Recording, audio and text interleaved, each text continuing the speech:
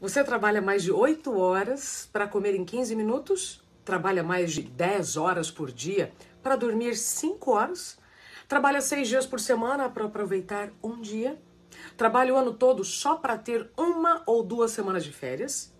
Você trabalha a vida toda para se aposentar na velhice e apenas se lembrar do que viveu ou deixou de viver?